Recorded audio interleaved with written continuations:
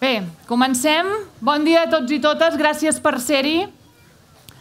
En primer lloc, és obvi que volem i hem de recordar totes aquelles persones i companyes que aquests darrers dies estan formant part, sense voler-ho, d'uns nefastos i ridículs esdeveniments que podrien formar part d'aquelles pel·lícules tipus de Berlanga, l'Escopeta Nacional i aquestes coses, perquè gràcies almenys al seu humor àcid podríem parodiar les trifulgues d'aquella classe política del règim. Um, és esdeveniments ridículs, estem parlant d'una pel·lícula de l'any 78 i aquests dies sembla que fem aquest pas en els anys en tota regla. Només dir a les companyes d'Indograf i a les companyes del setmanari El Vallenc, que ja ho vau veure ahir, que durant la setmana passada que no esteu soles, que hi serem, que hi som i perquè hi hem de ser i que repartirem totes les butlletes que siguin necessàries per fer el referèndum. Per tant, tot el suport a les companyes d'Indograf i del setmanari El Vallenc. Ens trobem aquí també, de, per no dir-ho, d'una manera um, xula, d'una manera bonica, que és la festa. Amb això no volem dir que l'acte d'avui no tingui ni contingut, ni que sigui un acte banal, sinó tot el contrari. Dóna sentit allò que portem dient des de fa dies, des de fa molts i molts mesos, que ens trobem en un moment excepcional, i que realment no hi ha marxa enrere. Ja ho heu vist aquests dies amb un vídeo. La furgoneta del procés s'ha estavellat. Fora! En necessitem una de nova, urgentment. I és per això que avui estem aquí, perquè no només és un moment excepcional, apassionant, sinó també molt i molt i molt il·lusionant.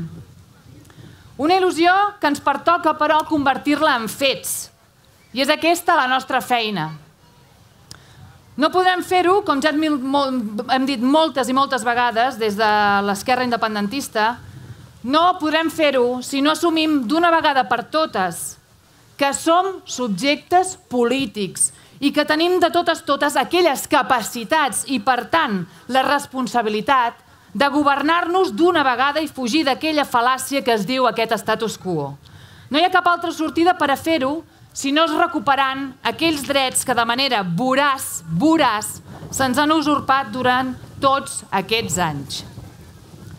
Aquí a Reus, malauradament, amb molt bon coneixement de causa, podem parlar d'usurpació també de drets. I en aquest cas, del dret a la sanitat pública. Avui, l'Eulàlia Reguant i també hi havia de ser la Marta Sivina, però l'hem d'excusar perquè per motius molt personals i punyents i durs ens ha hagut de dir que no, no és perquè no volgués venir i no ens hagi fet el salt a l'última hora, sinó que ha sigut per un problema personal que ha tingut, no ens pot acompanyar. Doncs l'Eulàlia Reguant ens parlarà doncs, això d'aquest escenari que ens ve després del referèndum en aquest procés constituent de quina sanitat volem. Com també agraïm la presència de la Pepa Plana i el David Bagés, actriu ballenca, actor reusenc, persones que podien parlar des de l'experiència també de la usurpació també del dret aquest a la cultura, de la sobirania, del dret a la sobirania cultural. Moltes vegades deixada a segon terme perquè sempre, sempre, sempre de manera molt malentesa, es creu que la cultura o l'accés a la cultura o ser persones sobiranes en la cultura no juga un paper crucial en la vida de les persones. I altre cop hem de dir que és una fal·làcia molt i molt gran. Des de, en aquest cas, poso un pinzell a nivell d'experiència personal. Des de la meva poqueta experiència en el món amateur del teatre, del teatre, es diu que l'art, i en aquest cas les arts escèniques, han d'allunyar-se del que avui estem defensant, que és prendre partit en el món. Practicar aquest art o gaudir d'aquest diu que només s'ha de concebre moltes vegades des d'aquesta alienació a la, a la realitat, la fugida de la realitat, o que a vegades es conceben com actes que jo, permeteu-me que els anomeni, d'aquests pseudointel·lectuals creats des d'uns pocs per uns pocs. que parlar, per exemple, del teatre fòrum o del teatre de l'oprimit és totalment obsolet i que avui dia ja no té sentit. Segons el meu parer, segons el parer de les persones que espero que estem aquí, té més sentit que mai. I més en un moment, com ja hem dit, excepcional.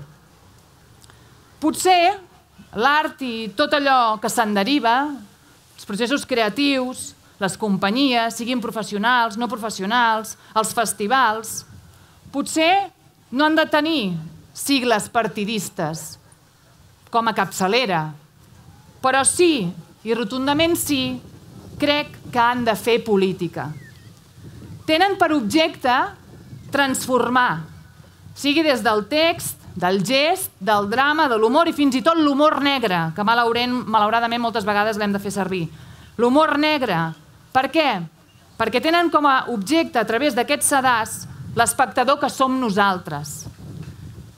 Uns espectadors que els hem de fer protagonistes d'aquesta acció dramàtica, aquesta vida que estem tenint aquests dies, aquests dia a dia, i que a través de la transformació ens ha d'ajudar a aprendre a creure's, com ja hem dit, que som subjectes polítics, per a preparar accions reals que ens conduixerà a ser lliures. Amb tot això, convidem a la Pepa Plana i el David Begés i moltes gràcies per ser aquí.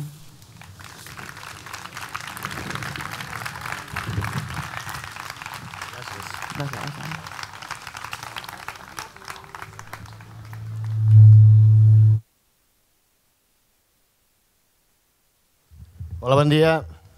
Està clar que sense cultura no hi ha pensament, no hi ha voluntat, per tant no hi ha poble.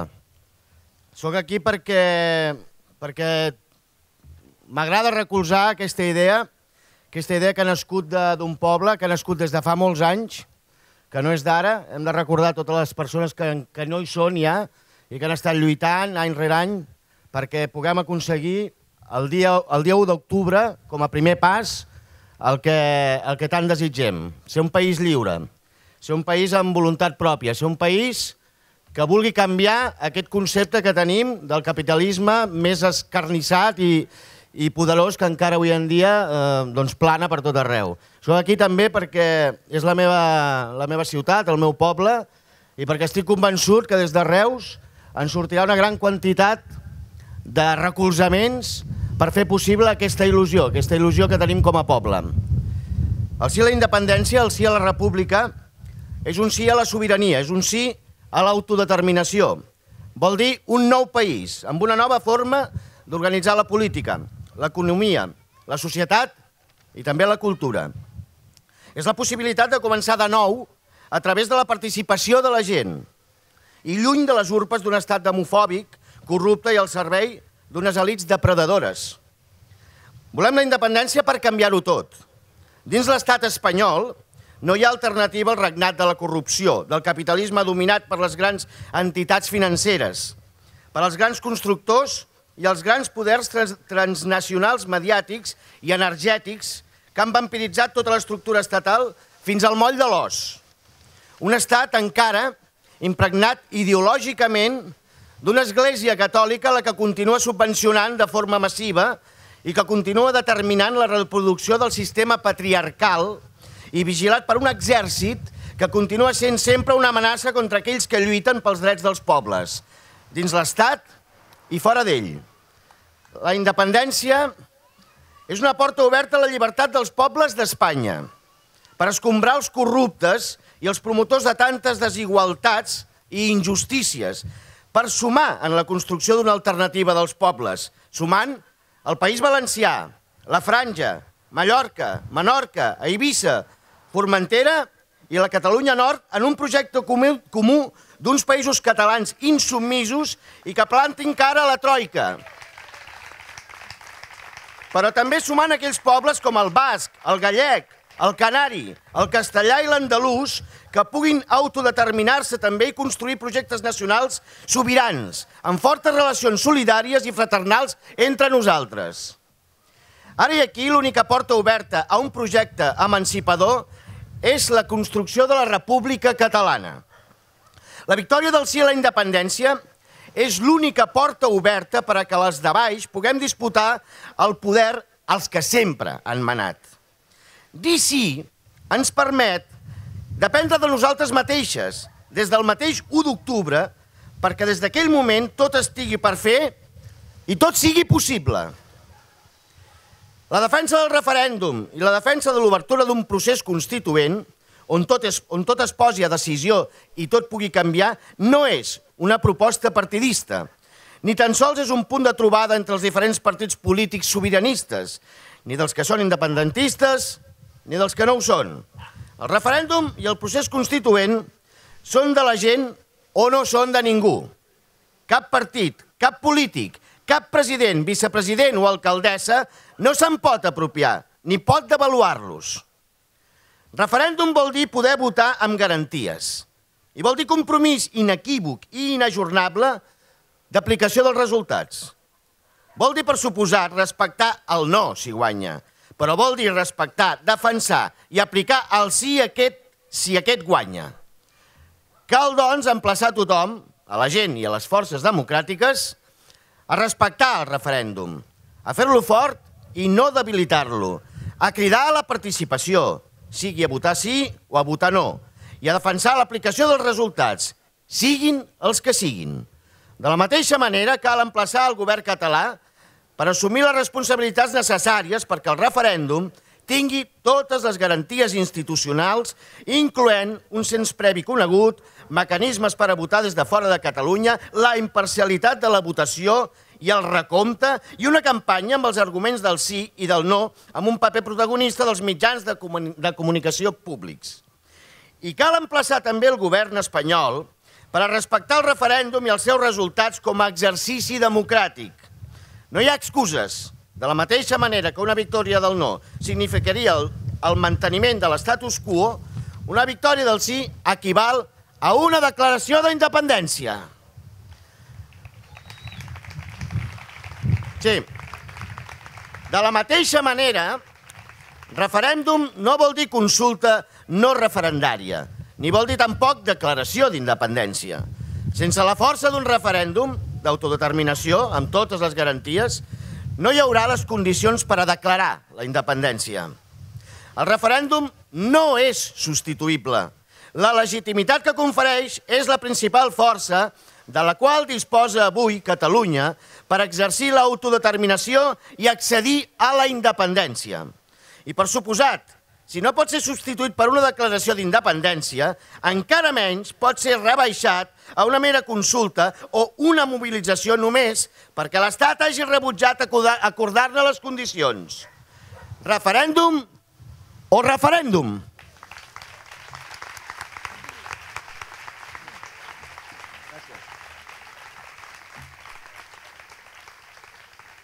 Bon dia, bon dia, bona hora. Uh, sí, jo també, és com um, parlem de cultura, estic convençuda que, que la cultura és un termòmetre que mesura la salut mental d'un poble. Un poble sense cultura és un poble malalt i jo no vull viure-hi en un poble malalt. Uh, I sí, els artistes, les artistes ens hem de posicionar. És clar que sí eh, els artistes el que fem és triar de tot el que volem parlar, lliures. Destriem, ho treballem, investiguem, ens qüestionem i ho tornem al públic, al poble. En aquesta mirada el que fem els artistes és obrir, obrir portes. Uh, jo, jo vaig tenir la sort d'anar a una escola activa, l'escola Enxaneta de Valls. Era, era una escola molt xula, com la Mongli aquí Reus o la Montsant, doncs l'Enxaneta de Valls. Era una escola laica, participativa, no classista, democràtica i catalana. Una escola que, que el fet de que no hi haguessin llibres en català, perquè no hi havia llibres en català, no, no ens impedia amb una plàtera eh, i cola de peix fer amb una impremta. Aquesta era la impremta de l'escola. Uh, posàvem uh, els papers i fins i, tot, fins i tot fèiem revistes. Això no, no impedia que nosaltres poguéssim uh, estudiar en català. Uh, aquesta, aquesta impremta de fireta, tot i que era a Valls, mm, mai va venir la Guàrdia Civil. Uh, bueno, eren altres temps, o, o potser no tant. Anyway, en tot cas, um, les, a l'escola Enxaneta, les assemblees eren la manera natural de funcionar. Tot, tot es decidia per votació, absolutament tot. Jo vaig anar en una escola ideal, el que passa que el món no ho era ideal.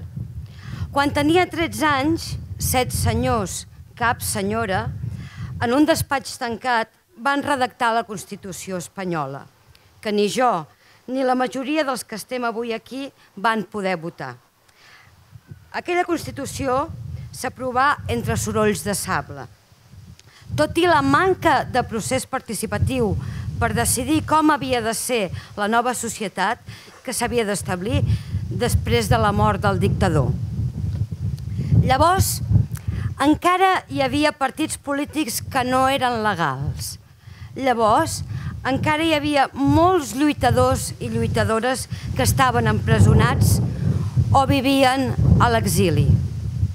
Com per exemple el meu avi i la meva àvia, exiliats a França i mai més retornats.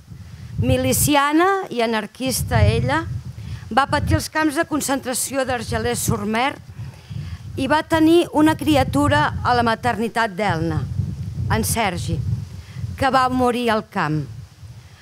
Perquè, perquè la maternitat d'Elna no era una pel·lícula romàntica, ideal. Perquè les mares amb les criatures havien de tornar als camps de concentració després de parir. Sense aigua, sense llet. El meu avi, també anarquista, un pic mort al dictador, hauria pogut tornar. Però contundent deia «M'estimo més ser estranger en una república que tornar al meu país sent una monarquia.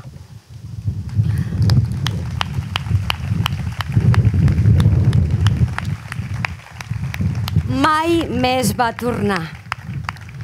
Fins que no vaig ser adolescent, no, em vaig, no vaig tenir consciència del passat de la meva família. Tothom callava. Tanta, tanta por havia llaurat el franquisme que ser neta, ser neta de rojos suposava una mena de pecat original del qual m'havia de penedir. Doncs no, no me n'he penedit mai, sinó tot el contrari. Això de que decidim els catalans i les catalanes el proper 1 d'octubre no sols implicarà desempallegar-nos d'aquest estat post-franquista, sinó que arreu la gent conscient, la gent que pateix aquesta deutocràcia, s'adoni que aquest estat espanyol no és tan sòlid com es pensen, sinó que està ple d'esquerdes per tot arreu. El referèndum de l'1 d'octubre no és com tots i totes desitjaríem, tal i com van poder fer-ho fa poc els escocesos i les escoceses. Després de tants i tants anys d'intentar negociar amb l'Estat, els partits majoritaris catalans han descobert que el que que el que portaven anys i panys denunciant des de la CUP i el conjunt d'Esquerra independentista. Només la via unilateral i la desobediència ens permet decidir el nostre futur com a poble. Desobediència. Mira, m'agrada aquesta paraula. Desobediència. Crec que he desobeït des de sempre d'una manera rebel, però gens capric capriciosa.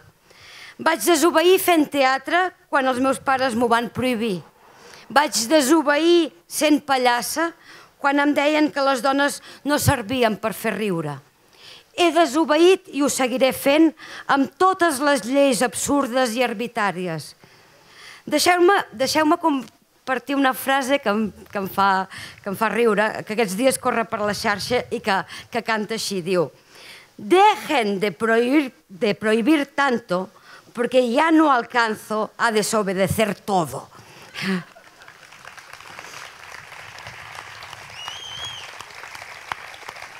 El dia, el dia 1 d'octubre aniré a votar. Sí. I votaré sí. Sí. Però, però allò més important no, no és guanyar el referèndum, sinó és guanyar el procés constituent en el qual hi haurem de participar tots i totes per decidir en quina nova república volem viure. Això és el que ens fa especial, això és el que fa especialment por a l'estat espanyol. Des de l'esquerra espanyola se'ns ha dit que el procés sobiranista pertany o està liderat per la burgesia. Hosti, tu, doncs sí que hi ha burgesos a Catalunya que són capaços de fer una, una via des del Pertús fins a Vinaròs. Doncs sí que hi ha burgesos a Catalunya que són capaços d'omplir la meridiana. Que no s'enganyin, perquè nosaltres no ens poden enganyar. La força motriu que ha impulsat aquest procés i que és la garantia que aquest arribi bon port són la majoria de catalans i catalanes, les persones que cada dia anem a treballar ben de matí o ens anem a dormir ben tard i patim per arribar a final de mes. I és precisament en aquest procés constituent on hem de mostrar, on hem de demostrar que això és així que la Constitució de la nova república no pot ser un document redactat per set homes i cap dona tancats en un despatx, sinó un procés on tothom hi tingui dret a veu i vot.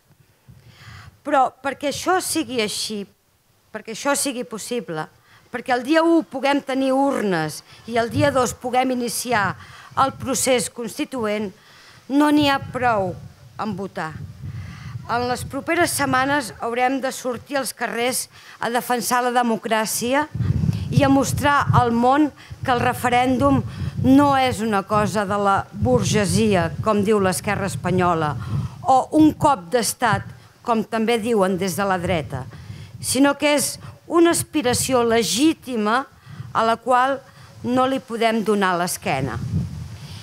I caldrà plantejar-nos que només que només anant un cop a l'any a Barcelona i posar-nos tots la mateixa samarreta, no n'hi ha prou, que caldrà fer front als embats de l'Estat, que com sempre, com sempre, ho farem de forma pacífica i democràtica. Però cal que tots i totes siguem conscients que de les conseqüències. La història ho jutjarà per tant, hem d'estar a l'alçada i ser dignes d'aquest moment. No ens podem permetre ser espectadors passius de tot aquest procés. El poble l'ha impulsat, el poble l'ha liderat, el poble serà qui aconsegueixi perquè tot allò pel que hem lluitat durant tants anys i tantes dècades sigui una realitat. Una república al servei de les persones i on aquestes tinguem el poder i el dret per decidir com volem viure el nostre dia a dia. Perquè viure és prendre partit. Moltes gràcies.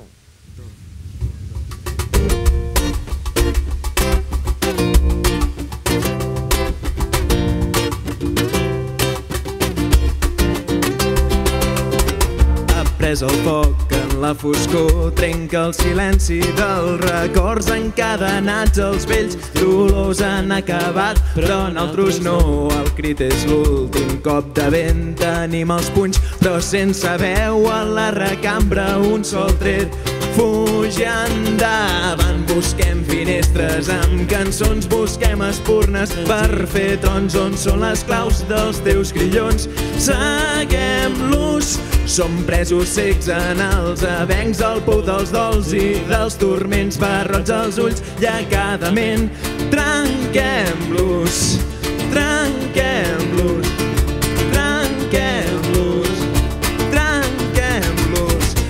nous batecs marcant el pas d'aquests capítols que escriurem van despertant-se més companys són els fascicles que viurem. Hem enxampat la negra nit mestra i amiga dels valents. Ja no ens espanta ser conscients. Anem endavant busquem finestres amb cançons busquem espurnes per fer trons. On són les claus dels teus guillons seguem-los som presos cecs en els avencs al pou dels dols i dels turments barrots als ulls i a cada ment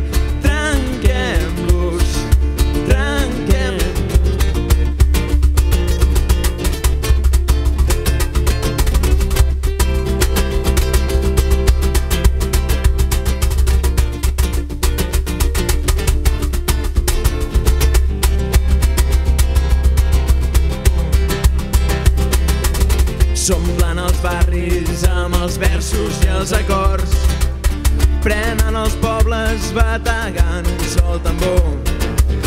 Del cim al mar com mil tempestes la clamor.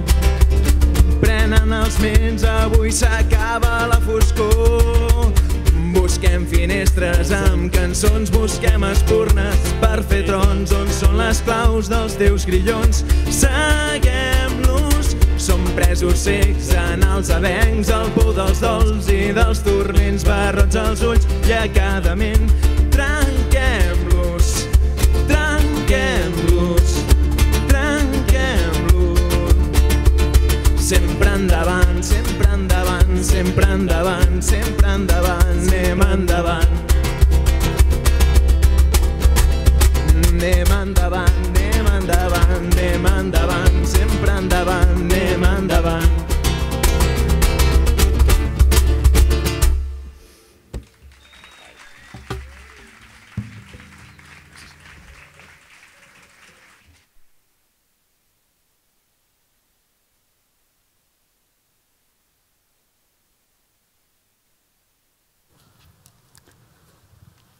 seguim.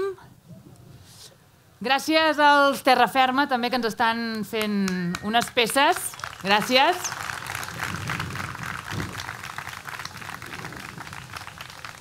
Um, aquests darrers dies, en els discursos d'aquells partits que deslegitimen el referèndum i configuren el seu relat emmirallant-se en allò que és o que no és legal, no hi ha hagut dia, no hi ha hagut minut, no hi ha hagut ni un segon en què s'hagués després la seva necessitat per part d'aquestes forces polítiques de definir-nos a nosaltres.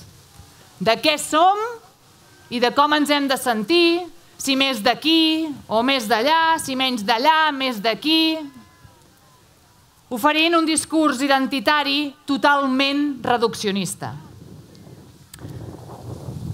Tal com va dir el Benet Salelles en el seu discurs en el Parlament, nosaltres no volem crear una nova república en base a un projecte polític ni etnicista o identitari. Ell va dir que no volem abaixar una bandera per a pujar-ne una altra. Aquí també afegiríem que tampoc volem crear una nova república traçant una línia negra, sí, una simple línia negra que delimiti simplement els països catalans en un mapa. El nostre projecte polític, el de l'esquerra independentista, llença sempre un missatge de solidaritat i conciliador amb aquells pobles, amb tots els pobles que volen exercir la seva autodeterminació. I també dins d'Espanya compartir que la ruptura ha de ser, i només ha de ser, amb l'estat espanyol que és irreformable.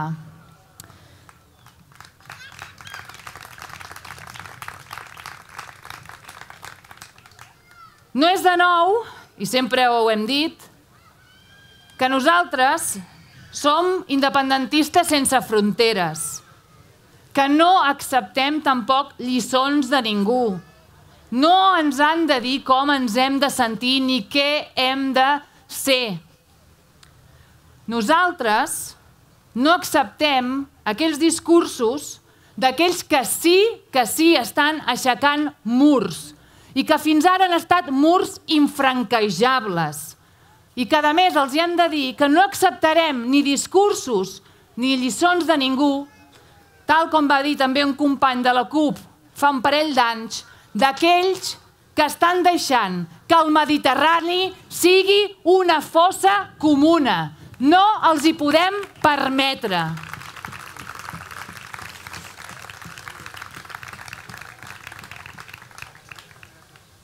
Avui, en aquesta visió de solidaritat entre els pobles, tenim i ens acompanyen les companyes d'Escapena, i d'elles parlarà l'Iraits. Més tard també tindrem el discurs de l'Eulàlia Raguant, com ja hem dit a l'inici, en què en un lloc com és Reus s'ha de parlar de la sanitat. Més de 15 peces obertes als jutjats de Reus i Tarragona amb més de 100 persones imputades i ja investigades. Diem que hem de tenir una clara i contundent denúncia de la corrupció davant una xarxa criminal que ha expoliat les arques públiques, les ha expoliat. I en què? Només en benefici d'uns pocs, el benefici del privat. Una xarxa que ha fet ús ha fet ús de la violència. Quan es categoritza la violència, la violència també és corrupció. I ho és quan, a més a més, ataca els drets fonamentals de les persones. Ataca els drets de la salut i de la sanitat. Sales d'urgències a rebentar, llistes d'espera interminables, i, a més a més, també hem de dir, moltes persones amb pròtesis caducades dins el seu cos. El fet de dir que sí en el referèndum de l'1 d'octubre és dir un no rotund a totes aquestes dinàmiques i corrupteles. Dir que sí en el referèndum és dir no i no dir-los que ja no ens enganyareu més i que la culpa no és d'un pocs, sinó és de tots vosaltres, de tots aquests corruptes.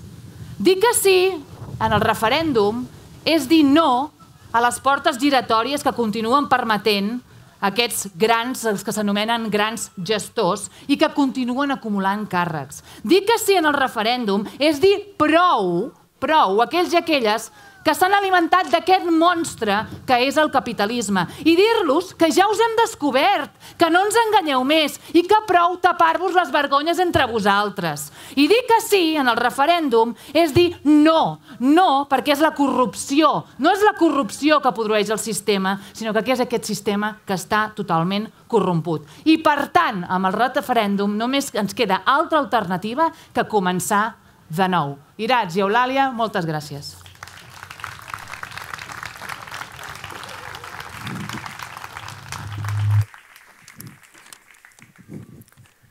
Eh, bon día, Reus. Eh, muchas gracias a la CUP por cedernos este espacio, este momentito para expresar nuestra solidaridad desde Euskal Herria. Bueno, somos un grupo de cinco activistas. Eh, venimos ya varios días viajando y conociendo las diferentes realidades y territorios de los países catalans. Somos una delegación, como bien he dicho, venida de Euskal Herria, organizada por Ascapena. Ascapena, para los y las que no sepáis, es una organización internacionalista vasca que lleva más, bueno, justo este año es el 30 aniversario y que lleva, pues eso, más de 30 años luchando por una Euskal Herria independiente, socialista, feminista, pero también internacionalista, que genere vínculos y solidaridad y apoyo entre los pueblos oprimidos del Estado y latinoamericanos y demás. Eh, como internacionalistas que somos, decía, acogemos con gran ilusión y esperanza el momento histórico en el que se encuentran los países catalans. Estamos, hemos sido testigos y estamos siendo testigos de las diversas luchas que se están llevando a cabo en este país, desde Alacant hasta Cataluña Nor, sintiendo nuestro cada paso en pro de la construcción nacional, sintiendo nuestro cada paso en pro de la liberación social de este pueblo. El 1 de octubre, la sociedad catalana, demostrando valentía y madurez política, debe acudir y acudirá a las urnas masivamente a ejercer el derecho a decidir libremente su futuro. Ante la negación y el inmovilismo del Estado español, el pueblo catalán actuará responsablemente y desobedecerá. Desobedecerá el mandato del Gobierno y del Partido Popular. Desobedecerá las directrices de los jueces impuestos por el régimen del 78. Desobedecerá a la monarquía española, insertando la papeleta del sí y respondiendo sí a la pregunta de ¿quiere que Cataluña sea un Estado independiente en forma de república?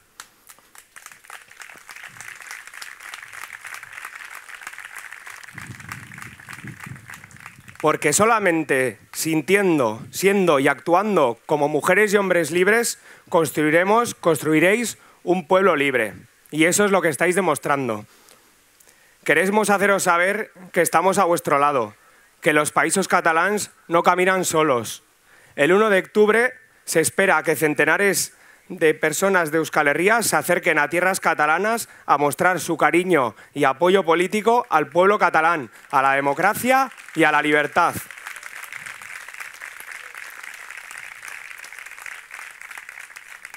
Deciros también que las próximas semanas están convocadas diversas movilizaciones en lo largo de todo el territorio vasco, que comenzarán con una movilización nacional llamada el 16 de septiembre en Bilbao bajo el lema de Erabakitzeko eskubidea, derecho a decidir. Porque vuestra victoria es nuestra victoria. Visca la terra llura. Endavant països catalans. JK irabazi arte. Gracias.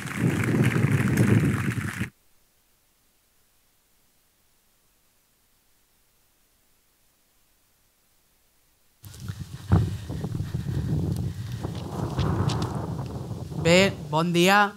Moltes gràcies per estar aquí amb aquest ventet que ens acompanya. Abans de començar, m'agradaria enviar una abraçada enorme a la Marta Sivina, que com ha dit la Marta, al final no pot estar aquí, però dir-li que sabem que volia estar aquí i que finalment no ha pogut, però que des d'aquí eh, li enviem l'abraçada. Enviar també una salutació enorme als companys i companyes de treballadors del transport sanitari de comarques gironines que van començar una vaga indefinida per denunciar el concurs, per denunciar la precarietat del sistema sanitari el que ells viuen com a treballadors d'un servei bàsic i essencial com és el de les ambulàncies. Saludar tota la gent que porta tots aquests dies responent de manera sistemàtica als escorcolls indignes de la Guàrdia Civil, recordar que a cada escorcoll una resposta popular que es trobaran sempre de cara davant d'aquesta ofensiva que han començat. I en aquest sentit també enviar com a curiositat, però també com a felicitació a Ràdio La Mina, perquè mentre alguns diaris es neguen a posar propaganda institucional, malgrat haver estat al servei també del status quo català durant tots aquests anys, Ràdio La Mina demostra la valentia també de les classes populars d'aquest país, que assumeix que davant una prohibició absurda el que cal és continuar amb normalitat. I tenim ganes de mirar endavant, moltíssimes ganes de mirar endavant i de construir conjuntament, però també és bo que mirem enrere i recordem d'on venim. I recordem que durant anys hi ha hagut independentistes marginats que han lluitat per arribar en aquest moment. Però que, a més a més, amb l'escrat de, crisi, de la crisi econòmica l'any 2008, es va contribuir en gran mesura a l'aprofundiment de la crisi política a l'estat espanyol i de l'estat espanyol. És amb aquesta crisi que es va veure com el vell sistema de partits s'esfondrava, i amb ell s'esfondrava el sistema de valors que l'havia sostingut durant 40 anys. Per tant, el règim de la transició espanyola quedava en entredit i els països catalans per partida doble. Les mobilitzacions arrel de la crisi econòmica del 2008 van marcar tots els temps polítics que hem viscut des de llavors fins ara i van minar fins als fonaments la legitimitat social del règim, sobretot entre les classes populars, aquestes classes populars que avui es visualitzen en Ràdio La Mina. La impugnació popular del règim era de tal magnitud que ens ha permès a moltes somiar en la possibilitat de la ruptura política en forma de República Catalana al Principat, en una part dels països catalans. Perquè, de fet, no hi ha lloc com aquí, malgrat alguns encara ho sostinguin, un suport a les forces polítiques contràries al règim i favorables a un canvi polític d'aquesta magnitud tan gran i tan i perdo el micro i tan majoritari. Perquè, de fet, a la resta de l'Estat, tot i créixer la indignació, veiem com amb les eleccions del passat 2016 no hi ha suficient força com per fer avançar o per, per avançar cap a un procés constituent que doni solució de continuïtat al procés mobilitzador i destituent protagonitzat per milions de persones a les places i al carrer.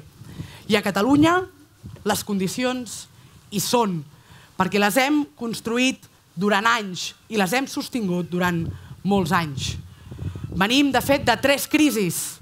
La crisi social, la nacional i la democràtica, que de fet han coincidit en el temps i que han produït tres pulsions, tres impulsos mobilitzadors, que han estat les responsables d'aquesta finestra d'oportunitat que és la destitució del règim i la construcció d'aquest nou marc polític, la República Catalana.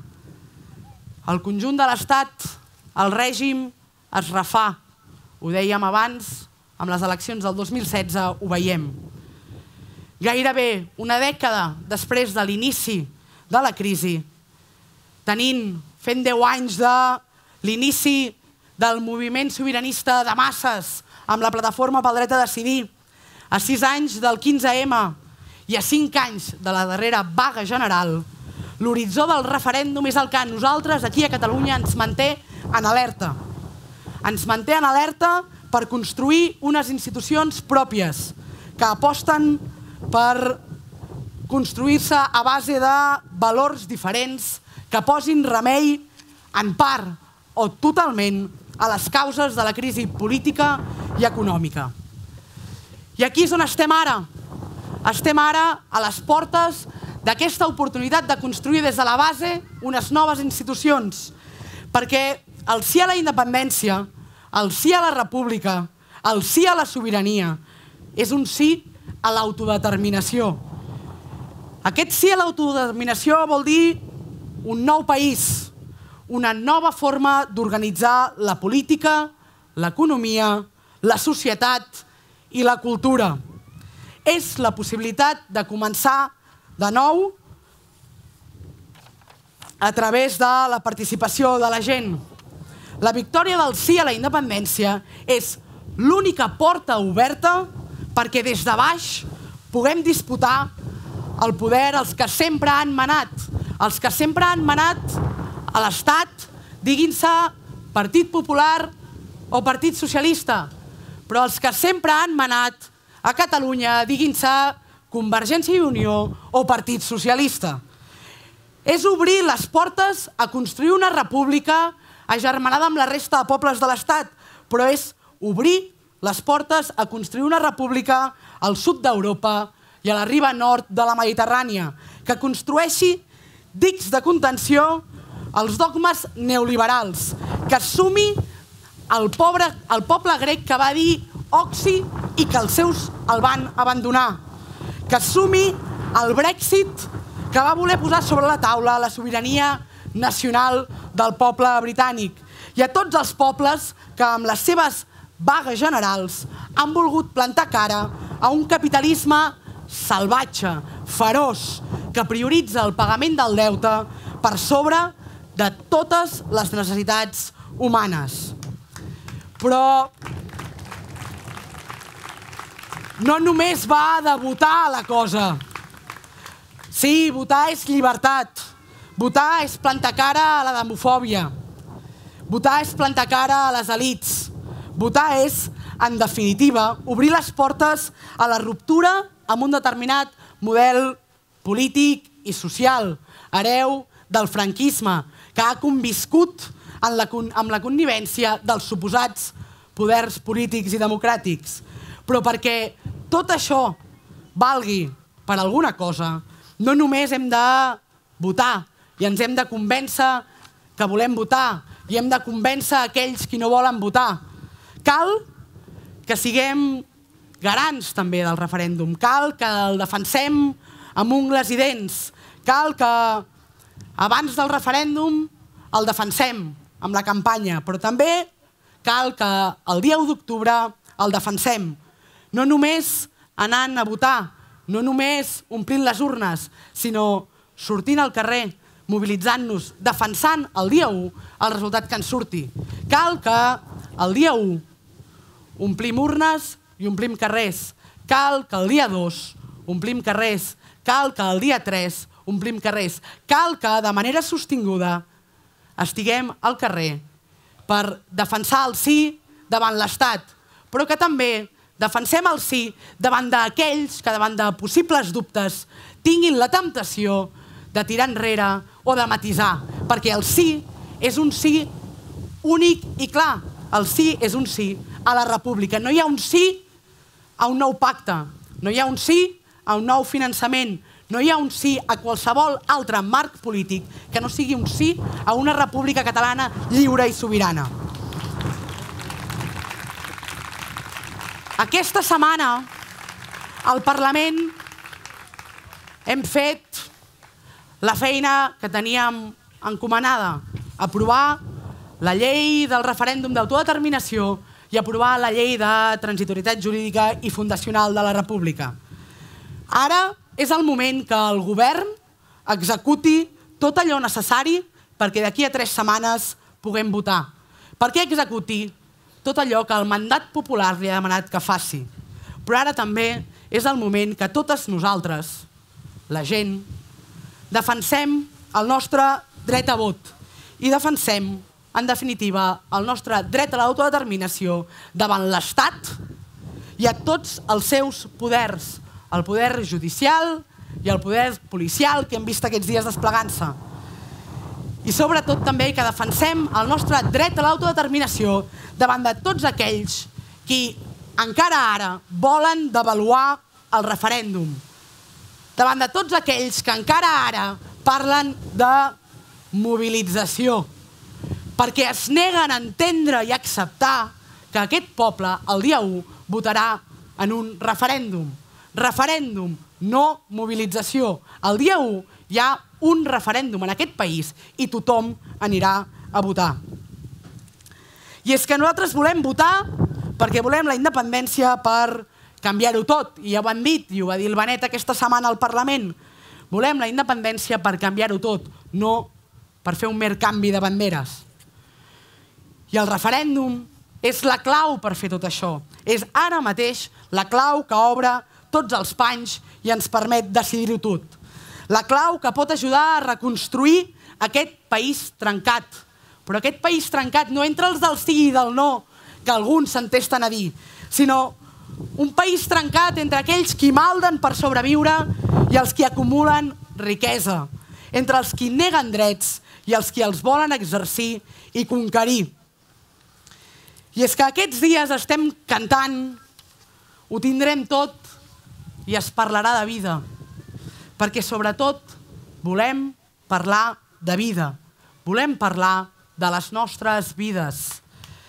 Perquè tot això que avui defensem ha de ser sobretot una eina que ens serveixi per conquerir i guanyar vides dignes, per assegurar-nos que les nostres vides i les dels que venen seran vides dignes, i aquí a Reus és impossible, si parlem de vides dignes, no parlar de dret a la salut, no parlar d'un sistema sanitari 100% públic i d'accés universal. La Marta ja us ha explicat allò que sabeu perfectament aquí a Reus. I per tant no cal que ho repeteixi, però mirem el futur i parlar de vida digna és parlar de dret a la salut. I sabem que allò que tenim ara mateix no ho deixa. Sabem que allò que el Parlament de Catalunya, amb la connivència de tots i cadascun dels partits que als anys 90 estaven al Parlament, tots i cadascun d'ells, des de Convergència i Unió, passant pel Partit Popular fins a el Partit Socialista, Esquerra Republicana i Iniciativa per Catalunya, van aprovar allò que ha provocat la corrupció en el sistema sanitari català. Un model de sanitat que aguditza i assumeix com a tal un, mic, un sistema o un model mix públic-privat que gestiona allò que és de totes. És a dir, un sistema que des de llavors, manés Convergència o el tripartit, ha evolucionat cap a una presència cada cop més alta d'interessos privats on, per tant, d'allò que en diem eh, el capitalisme d'amiguets, on s'ha aguditzat, s'ha aprofundit i ha generat un sistema o un suposat sistema públic de sanitat on les llistes d'espera són eternes, la competència entre els centres sanitaris públics és cada cop més caníbal, on les retallades de serveis, malgrat alguns parlin de reversió, s'aguditzen, on els drets dels professionals, de les treballadores, han estat cada cop més precaritzats i on, per tant, cada cop hem sobrecarregat més els treballadors i les treballadores fent-los responsables de una sèrie de conseqüències que no és responsabilitat d'ells, sinó que és dels polítics i, per tant, els hem acabat fent responsables indirectes sense que ells ho mereixin del sistema que vivim i patim. I arribats aquí hi ha alguns que encara diuen que en un marc autonomista tot això es pot revertir, que només cal que canvin les lògiques de poder a la Generalitat i a l'Estat i que això ho podrem revertir. I no. En un marc autonomista no hi ha marge per transformar aquest sistema. Perquè l'infrafinançament per part de l'Estat, amb la complicitat de la Generalitat, perquè el consens establert en aquest país amb la sociovergència per protegir aquests interessos privats en la sanitat, perquè les limitacions legals imposades per l'Estat i per la Troika impossibiliten la creació d'allò que és i ha de ser la solució i ha de ser el nostre sistema sanitari, és a dir, un sistema sanitari únic, un sistema sanitari públic però únic, universal i equitatiu, tant per les usuàries, tant per totes nosaltres, com per les treballadores. I per fer això, la única oportunitat, o l'oportunitat que tenim és el referèndum i el procés constituent. Un procés constituent que, malgrat alguns, com el conseller Comín, intenten ja pervertir-lo, decidint que el procés constituent sobre el sistema sanitari el faran tres experts tancats en un despatx. Un procés constituent que farem entre totes i que hem de fer entre totes un procés constituent que ens ha de permetre construir un sistema sanitari sense les hipoteques del cas Innova, sense les hipoteques de les llistes d'espera, sense les hipoteques que durant anys ens han intentat fer pagar a totes. Un procés constituent que ens ha de permetre construir i garantir aquest sistema sanitari que sigui públic i sigui d'accés universal, un, sistema, un procés constituent que ens garanteixi que hi ha una única llista d'espera, que no n'hi ha dos o tres en funció de la nostra capacitat adquisitiva. Un, un procés constituent que ens garanteixi el, que podem participar en les decisions i en la presa de decisions del nostre sistema sanitari, que no prenen les decisions en funció de les jerarquies establertes en un despatx tancat, sinó que les treballadores i les usuàries podem decidir i podem participar en la gestió i en la planificació dels nostres serveis sanitaris. Un procés constituent que ens garanteixi que l'atenció primària i comunitària són l'element central del sistema i que, per tant, no passa com ara que l'atenció primària és l'últim mono del sistema sanitari i van abans tots els hospitals concertats i privats, que són els que acaben obtenint tots els ingressos. Un procés constituent que ens garanteixi, en definitiva, que el sistema tingui en compte tots i cadascun dels seus serveis. També el sociosanitari, aquest que ara mateix pràcticament només està en mans privades i on cada cop més perquè la nostra població cada cop envelleix més, necessita i requereix d'un sistema públic on totes hi puguem accedir, independentment dels recursos familiars que hi hagi. Aquest és el sistema sanitari que ens permet treballar el procés constituent que hem de començar, un procés constituent que haurem de lluitar i batallar, i que hem de lluitar i batallar des de, ja, des de ja, però un sistema sanitari que, en definitiva, no depengui de si un viu a un barri o a un altre, que no depengui de si un viu a un poble o a un altre i per tant té més a prop o més lluny l'hospital, o un sistema sanitari que no depengui de si en un barri la capacitat adquisitiva és molt menor i per tant tot el que envolta el nostre dret a la salut es veu afectat. I en canvi aquells com és a Pedralbes, que la seva esperança de vida és molt més alta, tenen un sistema sanitari molt més a l'abast i un sistema sanitari que els garanteix molt millor que qualsevol altre espai el seu dret a la salut. Per tant, un sistema sanitari que, que no avantposi els interessos privats allò comú, allò que ha de ser de totes i tots. Així, no només en el dret a la salut, però en moltes altres coses, el referèndum és aquesta clau que d'obrir el debat i que ens permet generar les eines per canviar les condicions estructurals que no ens estan garantint ara mateix. Condicions dignes de vida. Eines que ens permetin avançar cap a la recuperació de totes les sobiranies. Sobiranies plenes de contingut, sobiranies plenes de dignitat, sobiranies plenes de drets. I també, per tant, que ens permeti avançar cap a la sobirania sanitària, aquesta sobirania sanitària que entre els interessos privats, entre la sociovergència i entre eh, el poder de l'Estat ens han anat prenent i ens prenen dia a dia. I és que l'únic procés constituent que podem obrir i que obrirem és el procés constituent que començarem l'endemà de guanyar el referèndum. Procés constituent que hem de preparar des de ja.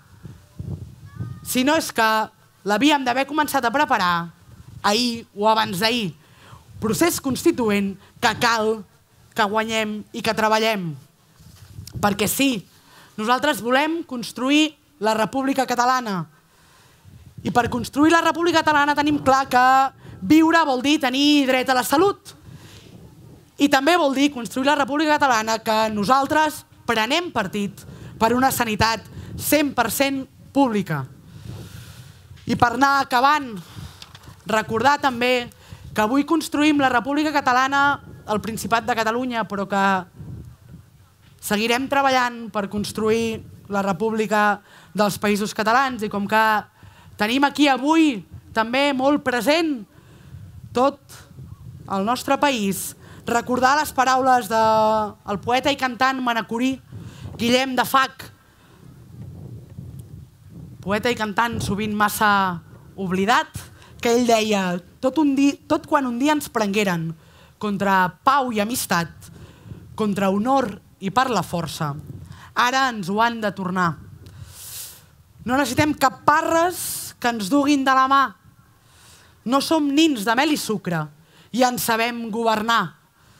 Perquè tot aquest procés no deixa de ser això, el que deia el poeta i cantant Guillem de Fac, demostrar i exercir que en sabem governar i que volem governar-nos. Perquè votar sí és una oportunitat per construir una nova república, perquè viure és prendre partit. Així que prenem partit, ens comprometem, conquerim el referèndum, guanyem el sí i construïm república. Visca la terra i visca els països catalans!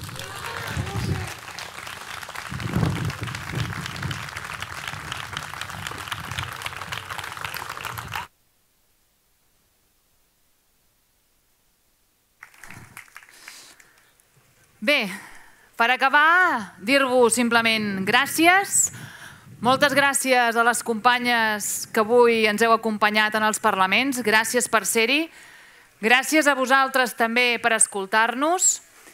I ara, per acabar, quina millor manera amb un bon dinar, de, aquí a, a les taules que teniu, teniu preparades.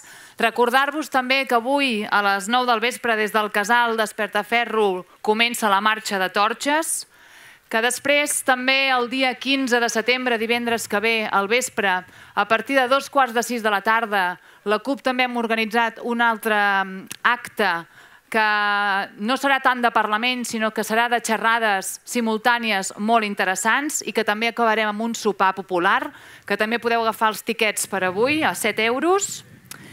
I també, eh, per posar fi, només afegir doncs, això, unes paraules de, de felicitació. Felicitar-nos no com un acte d'autocomplaença, penso, sinó per la voluntat política responsable que com a CUP hem exercit i estem exercint en els ajuntaments i al Parlament des de que va començar aquesta legislatura.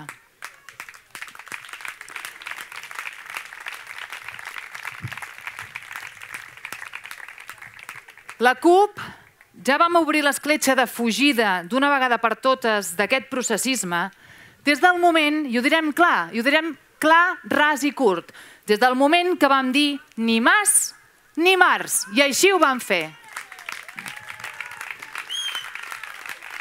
Des del minut zero, la CUP hem estat honestes. L'esperança que desprenien aquelles forces polítiques independentistes o que ara s'han tornat a l'independentisme i que tenien aquella esperança de pactar amb l'Estat, nosaltres ja la veiem impossible i ho dèiem que no passaria i efectivament no ha passat. Hem estat totalment honestes i que curiós que les somiatruites érem nosaltres i no ells. Aportem la CUP en aquest periple i llarg periple una voluntat convençuda d'autodeterminació des del municipalisme transformador, amb la unitat popular com a motor per oferir radicalitat democràtica i, sobretot, justícia social. I com ho fem? I per què ho fem? Perquè la gent que estem aquí mostrem diligència, mostrem consciència i sobretot mostrem totalment convenciment. I us demanem a vosaltres que avui esteu aquí que malgrat el cansament també mostreu aquesta diligència, aquesta determinació i aquest convenciment pel referèndum i sobretot per votar que sí, que votar sí a la independència. I que l'esquerra independentista no passem de puntetes per damunt de les coses. Volem aprendre, constantment a decidir, tant des de la reflexió com des de la mobilització. Ens han acostumat a no plantejar-nos dubtes d'aquest sistema, però nosaltres volem fer-ho i ho estem fent des de l'encert o l'equivocació, però ho fem perquè hi prenem partit. Ho volem fer des del qüestionament d'aquelles lleis actuals que ens imperen i que les han utilitzat, i així us ho diem, les han utilitzat com un simple instrument per dominar-nos. Tal com hem dit a l'inici, ens hem de creure d'una vegada per totes que tenim aquest poder de desbordar aquest marc legal i, com ja hem dit també moltes vegades, crear la república des de baix.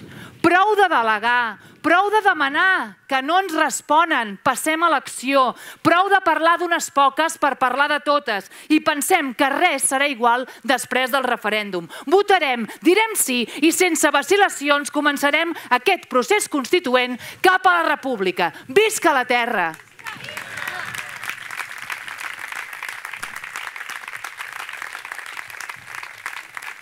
I ara agrairíem a totes les companyes que pugéssiu aquí a l'escenari, als companys també de Terra Ferma, i us convideu a que ens ajudeu a cantar la cançó de l'estaca. Gràcies.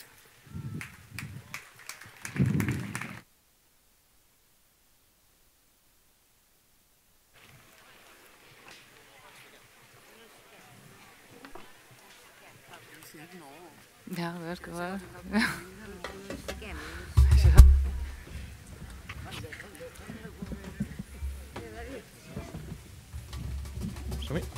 Som-hi.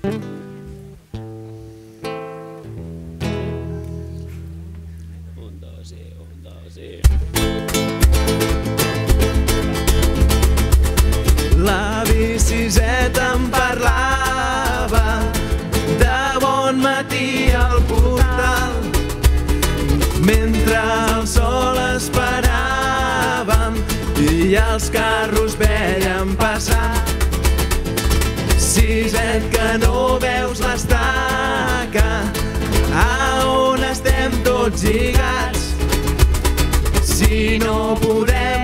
podem desfer-nos mai no podrem caminar.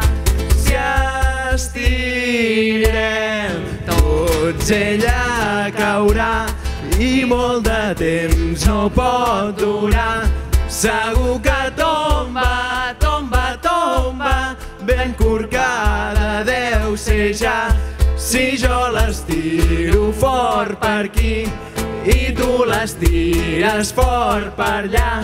Segur que tomba, tomba, tomba i ens podrem alliberar.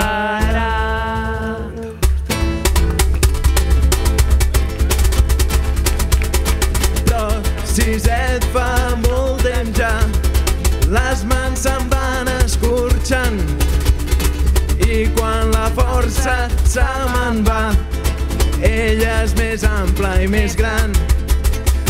Ben cert sé que està podrida, però és que si et pesa tant que cops la força m'oblida.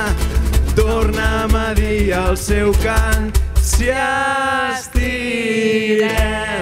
tots ella caurà i molt de temps no pot durar. Segur que tomba, tomba, tomba, ben corcada deu ser ja. Si jo l'estiro fort per aquí i tu l'estires fort per allà, segur que tomba, tomba, tomba i ens podrem alliberar.